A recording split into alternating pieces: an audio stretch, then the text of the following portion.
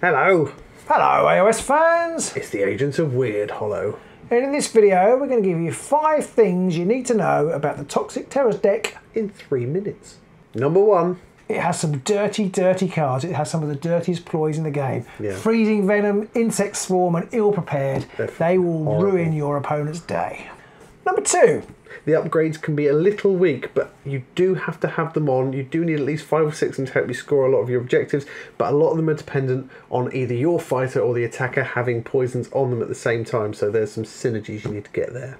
Number three, You have to be really careful with your objectives. There are lots of um, that rely on having poisons that persist, and you can end up in a position where you kind of put a poison that just weakens a fighter, but then you can't attack them because you need it to persist. And if you attack them, it goes, and then you can't score your objectives.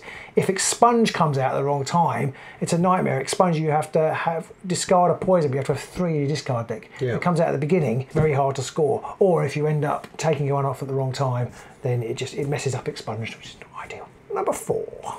They do, however, persist until the end of the round, which means you can score those persisting poison objectives in the end phase still. Looking at expunged again there. Number five, Carve a path requires that you make attack actions.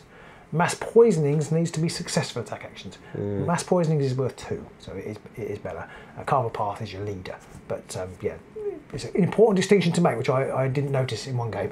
But there can be a trap, mass poisonings, especially early in the game, because if you miss an attack, it's, You're stuck it's worth two. It's a surge, feels great, but you can get it can keep bricking your hand. and a bonus one. Toxic Terrors deck uh, synergizes really well with the Soulraid. Lots of you commented on that in a previous video that this would be the case, and you are absolutely right.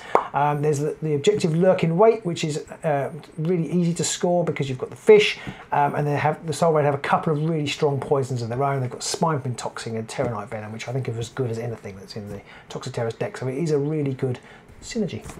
So there you go. There's five things you need to know about the Toxic Terrors deck. Do let us know in the comments below what anything that you can think of about Toxic Terrors. And as always, don't forget to like, subscribe, and ring that bell. And if you do fancy it, you can support us on Patreon. Um, you get lots of bonus games over there, and you get to chat freely with us in our Discord. So see you soon in the Wyrdhollow.